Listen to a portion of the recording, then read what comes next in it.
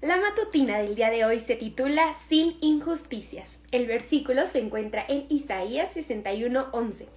Así como la tierra produce sus renuevos, y así como el huerto hace que brote su semilla, así Dios el Señor hará brotar la justicia y la alabanza a los ojos de todas las naciones.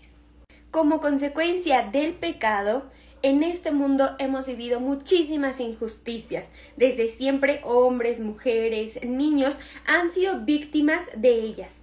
Algunas son pasajeras y de poca importancia, sin embargo, otras dejan una huella que es muy difícil de borrar.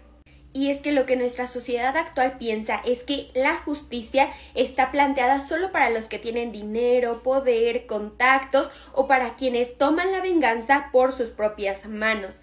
Cada día miles son explotados, abusados y discriminados porque no tienen los medios o el poder para defenderse.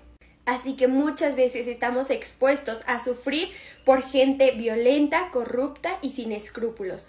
Pero nuestro buen Dios no es indiferente a la injusticia y prometió cambiar el mundo y erradicar la bajísima moral que impera.